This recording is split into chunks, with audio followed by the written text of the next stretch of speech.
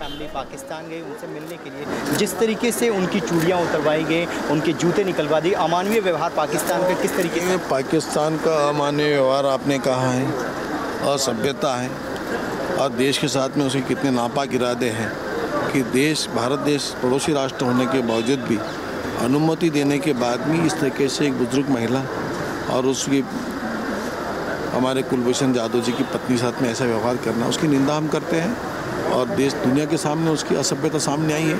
ये असभ्य पाकिस्तान अमान्य कृत्य करता है। ये सामने आया है उसकी निंदा करते हैं। एक आखिरी सवाल सर नरेश अग्रवाल ने जिस तरीके से कहा है कुलभूषण जाधव को जहाँ से पकड़ा गया पाकिस्तान उनको आतंकवादी मानता है और आतंकवादी की तरीके ट्रीट करता है क्योंकि हमारे यहाँ भी आतंकवादियों के साथ ऐसा ही बर्ताव होता है। ये उनका दुर्भाग्यपूर्ण है उसकी हम निंदा करते हैं।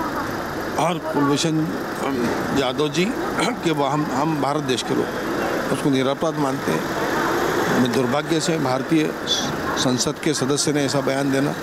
इसकी बहुत दुर्भाग्यपूर्ण है इसकी निंदा करते हैं। चलिए नरेश अग्रवाल ने जो बयान दिया है उसकी वो निंदा करते हैं और उन्होंने कहा कि जो पाकिस्तान का असली चेहरा है वो पूरी दुनिया के सामने आ गया है और इस तरीके का बर्ताव उनके साथ नहीं होना चाहिए क्योंकि पाकिस्तान एक अमानवीय देश है ये कृत्य भी पूरी तरीके से अमानवीय है। वीडियो राकेश रावत के साथ रविकांत राय न्यूज़ नेशन दिल्ली।